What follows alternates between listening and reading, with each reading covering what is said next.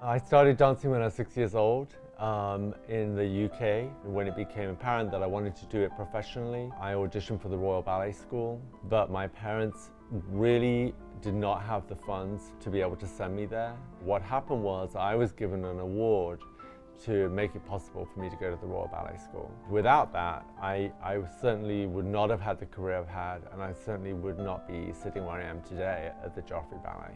I've worked with incredible people, uh, Rudolf Nureyev, Fonteyn, Antoinette Sibley, choreographers like James Kudelka, Mark Morris, Willie Forsythe, Robert Joffrey, Gerald Arpino, uh, Helgi Tomasson. I've, I've had amazing people in my life. And uh, I retired. I had a terrible accident. Most dancers think, oh my God, the, the, the end of your career is the end of your life.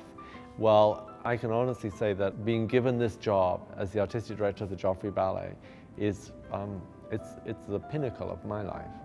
To help the next generation have the opportunities that I was given is something that I think is very important to pass on.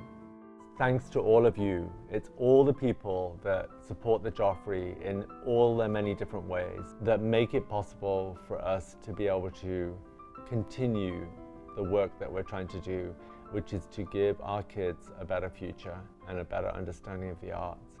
And so without you, um, it wouldn't happen. And I'm, I'm deeply, deeply grateful.